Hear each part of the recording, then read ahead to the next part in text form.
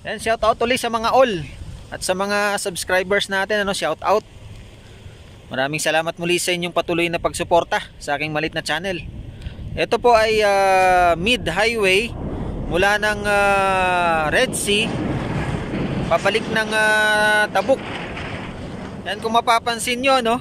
Ayan, no, puro bundok.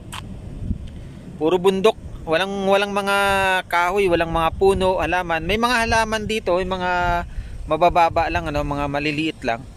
Ayan ano. Yan, kung mapapansin niyo yung mga bato, 'di ba? Yung mga bundok. Akalain mo nangyari yung ganyang klaseng mga hugis. Siguro dahil sa hangin. Sa malakas na hangin kaya siguro nagkaganyan. Tulad po niyan ano, tingnan niyo, oh. i-zoom natin ano. Ayun kung paano naging ah, nagkaroon ng mga layers. 'Di ba? Tin ang tindi no. Yung mga bato na 'yan, nagkaroon ng mga layers. So maingay dahil ah, dito kasi mga daanan ng mga trucks din, kaya maingay. Yan sa kabila ganun din no.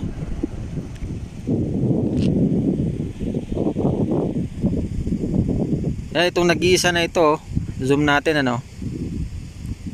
Kita mo ano, kung ah, ikaw ay isang mayaman, butasan mo sa ilalim yan, pwedeng gawing bahay.